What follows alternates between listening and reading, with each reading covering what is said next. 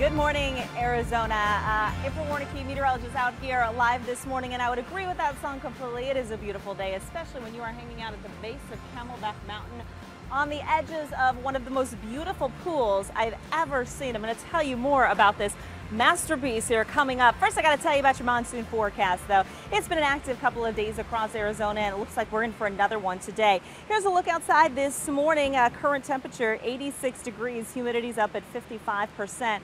We've got those uh, really high dew points all across the state. You're going to feel that monsoon mugginess as you head out the door this morning. Uh, and again, there's so much moisture in the air, so any storms we do see develop could lead to some heavy uh, rain and flooding. We've got a flash flood watch in effect again for today and tomorrow for the high country and for the valley.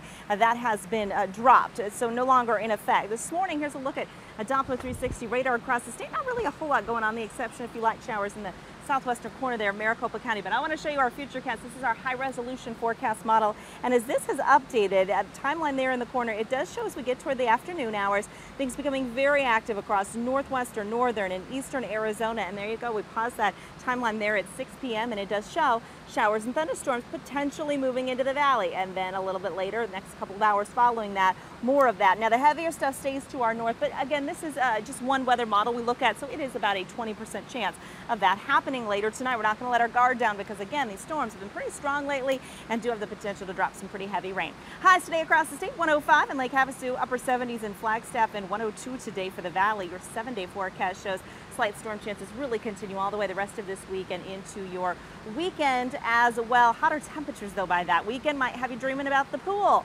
Uh, Rick Chafee joins me from Red Rock Contractors, and uh, you, uh, well, I'll just say good job. This is your work here. Thank you. and you said it took some time.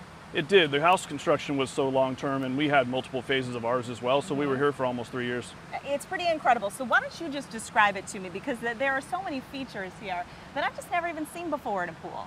Well, one is because we're coming out of a basement, we're able to take all these elevations into that play yeah. and kind of taper up into Camelback Mountain. The upper body of water is actually a spa buried below grade, below the water surface. We can turn that on and it'll kind of drain the water out and make that spa up really? to, right Just out of the water. Of a button? Yep, or your phone or in the controls. Nice. This over this upper body actually cantilevers out over the lower body about seven feet. And then but we've got this. this you can uh, swim in this yeah. and, and toddle around this, and you can also jump to the other water because it's deep enough. And then we've got that lower main pool that's about nine feet deep, its own spa off of the lower basement. And then this all drains kind of as a negative edge back into the house itself. Wow, and there's a water slide somewhere in here. There is a hidden water slide. It does come up from behind me and then sloops in underneath this big cantilever and drops into the water. So all in all, six different bodies of water here? Yep. They all, they all function independently, but they're all somewhat tied together, so we have one sanitation system and one overall control system. I mean, you were showing me the control room for all of this. It's about the size of my house. it is. Um, we get into projects like this, on homes like this, we're usually inside of a room instead of outside. Yeah. And we've got four heaters on this pool. There's, I think there's 12 pumps. A couple of them large commercial pumps, all okay. variable speed and automated. It's really a, a whole nother, you know, equipment yeah. setup, almost as complicated as the house. Well, it's a whole nother level than from what most of us can, can afford or put in our backyard. What are, what are some things here that you think people could take inspiration from or maybe implement in their own backyard?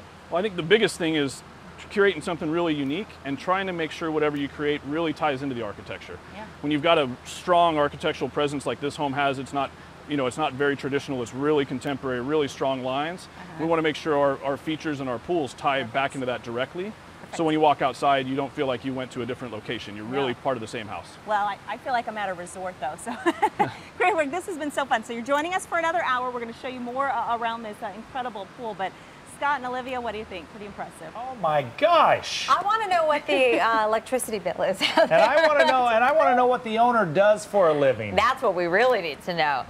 I will tell I will tell you that maybe a little bit later, but I, will tell you something. Uh, the, the pool water, I just dipped my uh, toe in over there. It's 82 degrees. Ooh, it's just about perfect.